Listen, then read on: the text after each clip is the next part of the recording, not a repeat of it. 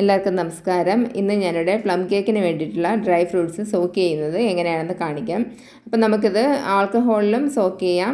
അല്ലാതെ ഓറഞ്ച് ജ്യൂസിലും വേണമെങ്കിൽ നമുക്ക് സോക്ക് ചെയ്യാം. അപ്പം ഞാനിപ്പോൾ ആൾക്കഹോളിൽ ചെയ്യുന്നതാണ് കാണിക്കുന്നത്.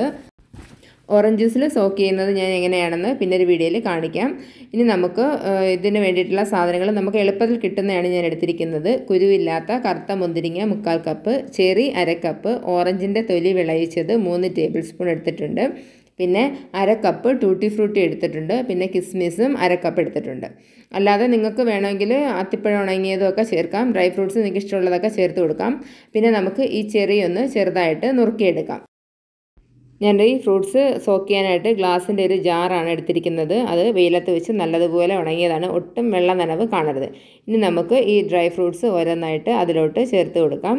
അപ്പോൾ ഞാനിപ്പോൾ ഇതിന്റെ കൂടെ അണ്ടിപ്പരിപ്പും ബദാമും ഒന്നും ചേർത്ത് കൊടുക്കുന്നില്ല. അത് നമ്മൾ കേക്ക് ഉണ്ടാക്കുന്ന സമയത്ത് മാത്രമേ ആഡ് ചെയ്ത് കൊടുക്കുന്നുള്ളൂ.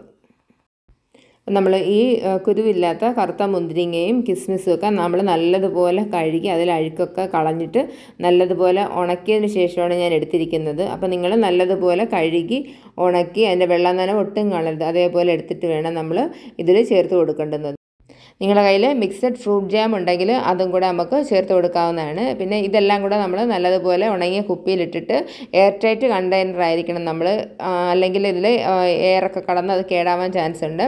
പിന്നെ വേണ്ടുന്നത് അര കപ്പ് റമ്മാണ് അപ്പോൾ റം ഒഴിച്ചെന്ന് വെച്ച് കുഴപ്പമൊന്നുമില്ല. നമുക്കത് നല്ലതുപോലെ തന്നെ കിട്ടും. റമ്മിന്റെ ഒരു സ്മെല്ല് ഒന്നും ഇത് തുറക്കുന്ന സമയത്ത് കാണത്തില്ല. നല്ല ടേസ്റ്റുമാണ് നമ്മൾ ഈ പ്ലം കേക്ക് ഇതിൽ സോക്ക് ചെയ്തിട്ട് ഉണ്ടാക്കുമ്പോൾ ഇനി അര കപ്പ് റമ്മും കൂടെ ഒഴിച്ചു കൊടുത്തിട്ട് നമ്മൾ നല്ലതുപോലെ അടച്ച് അതൊന്ന് കുലുക്കി നല്ലപോലെ മിക്സാക്കി എടുക്കണം. ഇത് നമ്മൾ രണ്ട് ദിവസം കൂടുമ്പോഴെങ്കിലും നല്ലതുപോലെ കുലുക്കി വെക്കേണ്ടതാണ്. ഇത് ഞാൻ ഇനി ഒരു മാസം കഴിഞ്ഞാണ് കേക്ക് ഉണ്ടാക്കാനായിട്ട് എടുക്കുന്നത്.